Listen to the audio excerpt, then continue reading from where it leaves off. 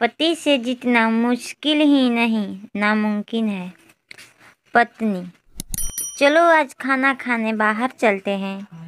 मेरा मूड नहीं है खाना बनाने का।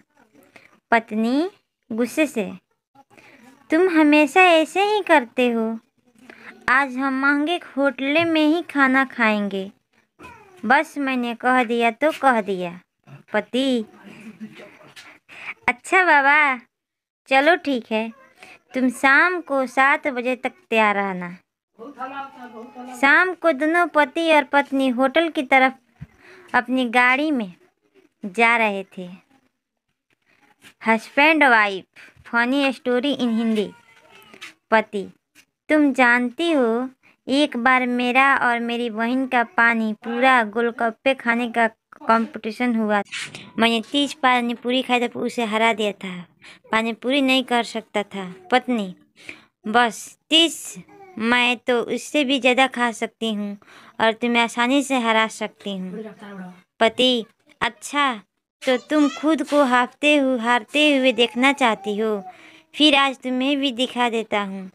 पति और पत्नी, एक पानी पूरी को ठेले पर रुकते हैं। दोनों पच्चीस पच्चीस पानी पूरी खा चुके हैं। दोनों को पेट पूरी तरह भर चुका है। पति, बस, अब और नहीं खा सकता। पत्नी, जैसे तैसे अपना इक्कीसवीं पानी पूरी गोलगप्पे खाती है और खुशी से चिल्लाती है, मैंने तुम्हें हरा दिया।